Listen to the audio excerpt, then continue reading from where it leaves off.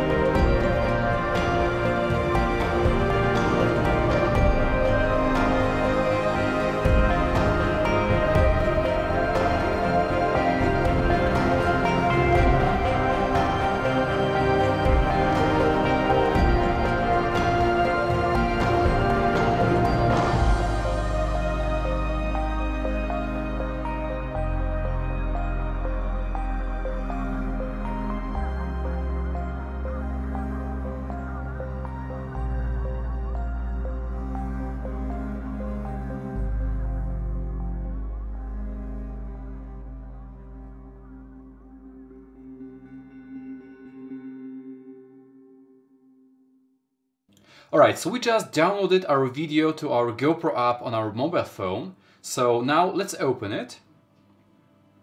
And if you want to enter the reframe process, we have to click it again. And from here, we can create keyframes and decide which camera angles we are going to use uh, throughout our video. So first, we can preview the whole video by clicking on the play button. And uh, while playing, we can already look for uh, cool moments, uh, for something ha cool happening or we can simply get the basic idea how the video gonna look like uh, without even editing. We can also stop it and if you take a closer look on the timeline we can also move on the timeline by just a few seconds um, just to get uh, a little bit more control and precision over what we are doing in our video. We simply have a little bit more control over the whole process if we do it like that. But let's go to the beginning.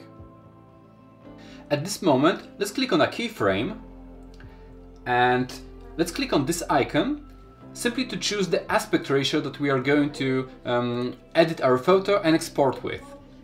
So for example, if we want to edit a video for YouTube, it's a good idea to actually edit our video in a 16 by 9 aspect ratio.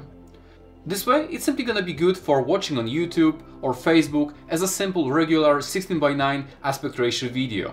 However, if you want to edit your video for Instagram, like uh, Instagram stories or Facebook stories, then it's actually a better idea to edit this video in a 9 by 16 aspect ratio. Simply because it's gonna take um, more area of your screen, uh, so it's gonna be simply good for mobile phones. So let's click on accept. Alright, so let me quickly show you how you can use the keyframes. So for example, I'll play the video a little bit and let's say, I will stop it for a moment and let's say I want to start my video at this point. I'm gonna focus on a palm tree. So I'm gonna hit a keyframe.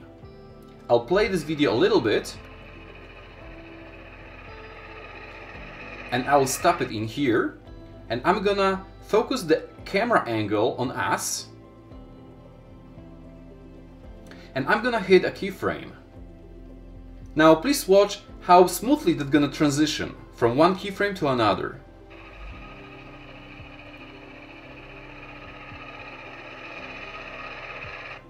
Notice that because there is quite a bit of distance between one keyframe and another, uh, the whole transition took quite a while. Now, if I hit on that keyframe and I hit it again, I can move that keyframe to be a little bit earlier. So the closer I move it to another keyframe, the transition gonna simply happen much faster. So now watch what, again what's gonna happen.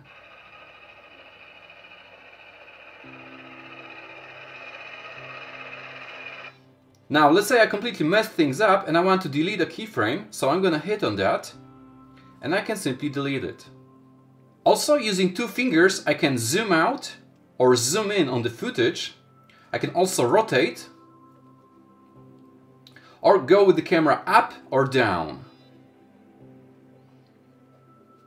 Alright, so let me quickly show you how I'm going to edit this video. So I'm going to hit on play button because I don't want the video to uh, start just yet. I'm gonna hit on pause.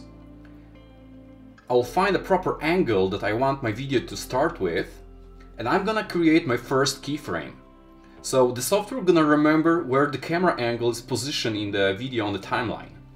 So let me continue with the video and notice that I kinda left the frame. So I'm gonna create a second keyframe and I'm going to correct the camera angle. Once I'm happy with that, I'm gonna click on accept. Okay, now let's see how it looks like. Okay, that's much better. Okay, I'm once again leaving the frame, so I'm gonna create a third keyframe and I'm going to correct the camera angle once again, maybe zoom out what a little bit, because why not? I'm gonna hit accept and play.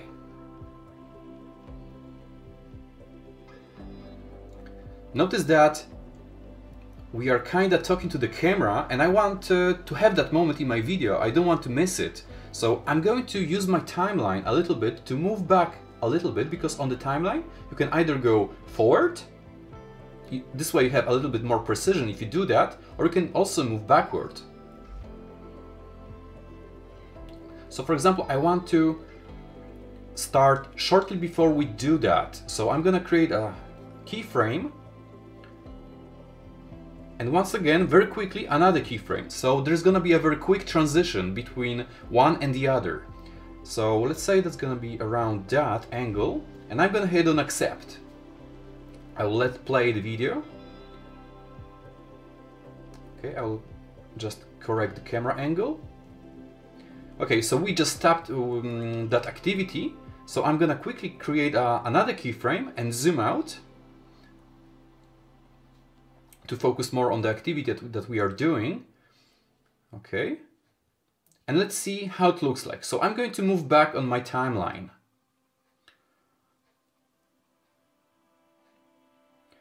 Okay, so let's play it.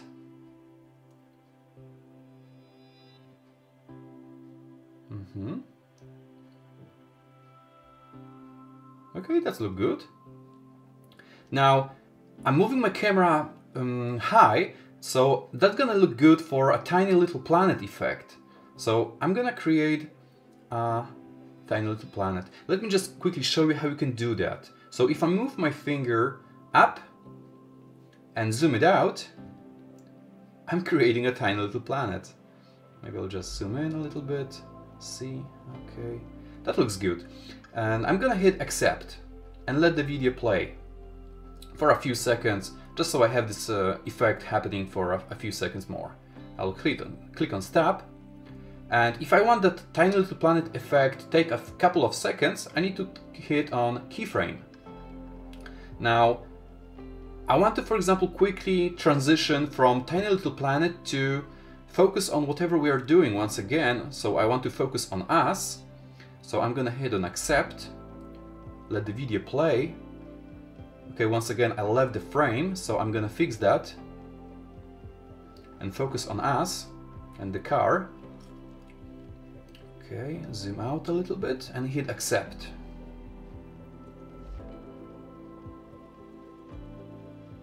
That looks good.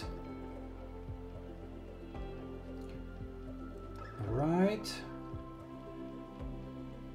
And since we are mm, reaching the one minute mark, I think that's gonna be long enough for social media, so I'll just leave it like that. But I'll just see how it looks like because I did it very uh, quickly.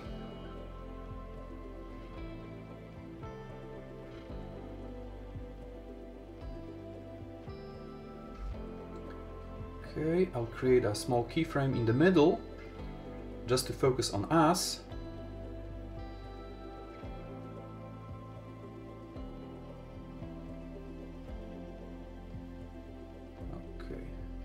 Zoom out a little bit here. Alright, so that's gonna be that's it. Now notice that we still have plenty of video to edit, but we are not gonna do that. What we are interested is only the part that we created our keyframes for. So I need to cut it somehow. So notice that this icon in here, uh, little scissors, let's hit on that. And I want to just cut the part that I edited. So I'm going to click on that, move back on my timeline. So I want to move back to the first keyframe that I created. So I'm going to move back on my timeline. Okay, that's gonna be the first keyframe that I created. Once I'm happy with that, I'm going to click on this scissor icon once again. And only the part that's uh, selected gonna be exported. Okay, so let's say I'm happy with it and I'm gonna click on accept. And from here, I'm going to click on done. I think it's very important to also save the draft in case you have some changes going on. Uh, for example, you want to fix something. It's always best to save the draft before exporting. Now let's hit on the keyframe once again, click on done and render the video. And after a while, our video gonna be ready in the GoPro app. Alright, so once our video is rendered successfully, we can click on View Media. So let's click on that. And let's click on Play.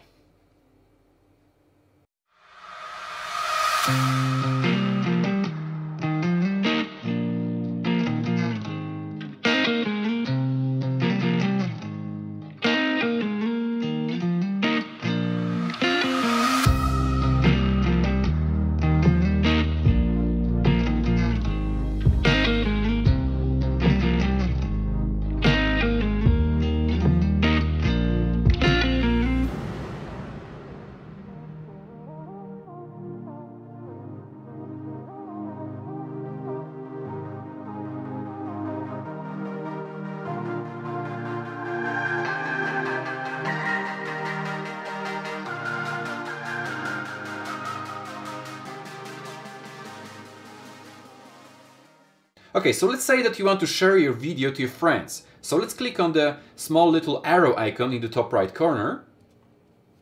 And if you want to save your video to your phone, then let's click on that.